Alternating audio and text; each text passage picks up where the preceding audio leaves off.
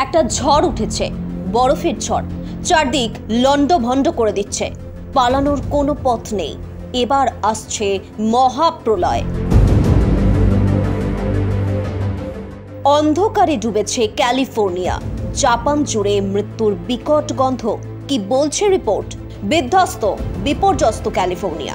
প্রবল তুষারঝড় সঙ্গে ভারী বৃষ্টিপাত। দেখুন ভিডিওটা, কি পরিস্থিতি।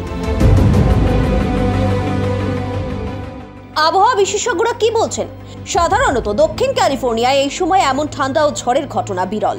তাদের দাবি আচমকা এই তুষারপাত ছিল আনএক্সপেক্টেড এই খামখেয়ালি আবহাওয়ার জন্য দায়ী আর্কটিক থেকে আসা নিম্নচাপ। ন্যাশনাল ওয়েদার সার্ভিসের পূর্বাভাস অনুযায়ী, পরিস্থিতি আরও অবনতি হওয়ার আশঙ্কা। সোমবার ক্যালিফোর্নিয়া আরও একটা ঝড়ের মুখোমুখি হবে, কারণ প্রশান্ত মহাসাগর থেকে শীতল, ঘন বাতাস প্রবাহিত হচ্ছে।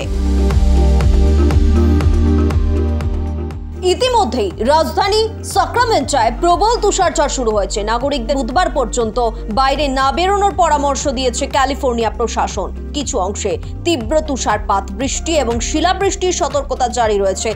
রেড অ্যালার্ট উল্লেখ্য, গত বছরের ডিসেম্বরের শেষের দিক থেকে একের পর এক ঝড় বৃষ্টি চলছিল। এর প্রভাবে নদী ফুলে ফেপে উঠেছিল। সেই পরিস্থিতিতে বৃষ্টিপাত চলতে থাকায় নদীর জলস্তর বিপদ সীমার ঊর্ধ্বে উঠে সেন্ট্রাল ক্যালিফোর্নিয়ার বেশিরভাগ অঞ্চল প্লাবিত হয়ে গেছে। সাইক্লোন বোমার ক্ষত সারিয়ে উঠতে না উঠতেই আর একটা ধাক্কা।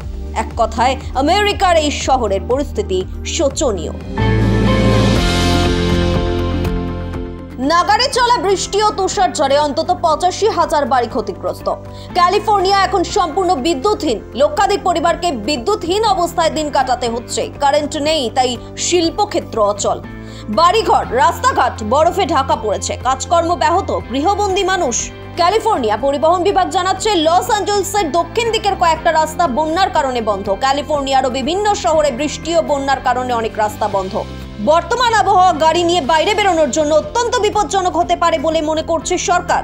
তুষারঝড়ের কারণে মার্কিন যুক্তরাষ্ট্রে বিমান পরিষেবা ব্যাপকভাবে ক্ষতিগ্রস্ত। ঝড়ের কারণে বাতিল প্রায় দুহাজার তিনশো উড়ান। প্রবল তুষার ঝড়ার সঙ্গে বৃষ্টির কারণে একাধিক এলাকায় বন্ধ স্কুল, কলেজ। সর্বশেষ আবহাওয়ার আপডেট অনুসারে বুধবার পর্যন্ত জারি করা হয়েছে চূড়ান্ত সতর্কতা। ছবিটা বলে দিচ্ছে, ভালো নেই ক্যালিফোর্নিয়া।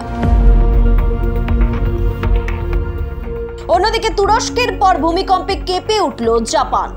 স্থানীয় সময় শনিবার রাতে জাপানের উত্তরাঞ্চলীয় হোক্কাইদ্য প্রদেশের একাধিক উপকূলবর্তী শহরে ভূকম্পন অনুভূত হয়। রিক্টার স্কেলে তীব্রতা ছিল ছয় দশমিক এক। যদিও কোনো সুনামি ওয়ার্নিং জারি করা হয়নি। এখনও পর্যন্ত কোনো হতাহতের খবর মেলেনি। তবে একাধিক মানুষের মৃত্যুর আশঙ্কা করা হচ্ছে। একের পর এক দুর্যোগ, বিপর্যয়। দু হাজার তেইশের শুরু থেকেই প্রকৃতি বারবার তার ধ্বংসলীলা চালাচ্ছে বিশ্বজুড়ে। প্রকৃতির রোষে লণ্ডভণ্ড হয়ে যাচ্ছে একের পর এক দেশ। প্রথম কলকাতা ব্যুরো।